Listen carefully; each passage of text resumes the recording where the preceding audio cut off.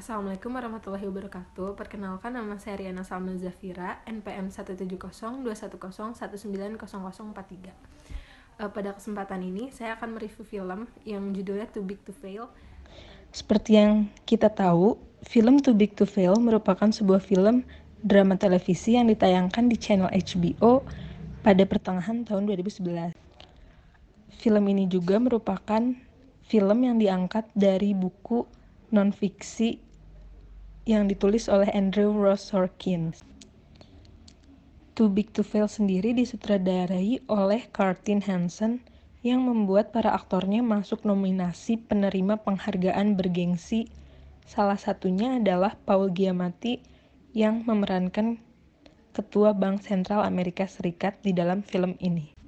Di dalam film ini juga berbagai cara sudah diupayakan oleh Richard Ford untuk menyelamatkan Lehman Brothers dan ekonomi Amerika Serikat termasuk berbicara kepada orang-orang yang paling berpengaruh di dunia keuangan. Uh, jadi ini sebuah film yang membahas tentang perekonomian Amerika di tahun 2008 yang kolaps. Jadi di film Too Big to Fail ini uh, nyeritain 10 perusahaan besar di Amerika yang sangat berpengaruh. Kalau 10 perusahaan besar ini kolaps, maka uh, perekonomian Amerika akan runtuh juga kayak gitu. Nah, selain itu di dalam film ini diceritakan para aktor yang terlibat menjual suatu perusahaan besar dan juga ternama. Selain itu, perusahaan ini memiliki rating yang tinggi di dalam perekonomian Amerika Serikat.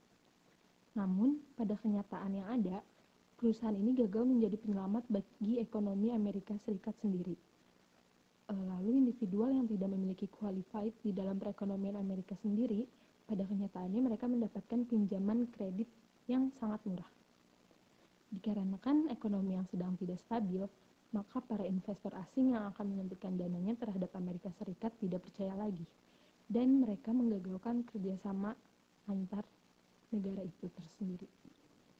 Akhirnya mereka, para aktor yang terlibat di dalam film ini, mengandalkan brand yang mereka miliki, lalu menjualnya.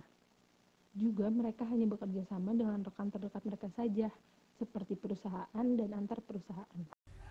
Mungkin untuk organisasi internasional yang terkait dalam film ini, menurut saya IMF atau International Monetary Fund karena uh, saat pertemuan IMF di Istanbul, Turki yang dihadiri oleh para anggota dan menteri-menteri keuangan dunia, mereka bilang uh, kita tidak bisa memakai istilah lagi too big to fail untuk uh, keadaan saat ini.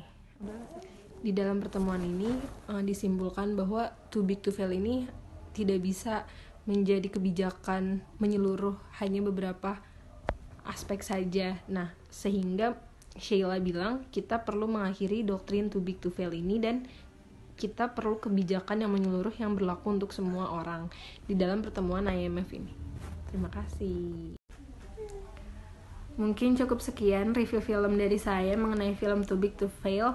Terima kasih sudah menyaksikan.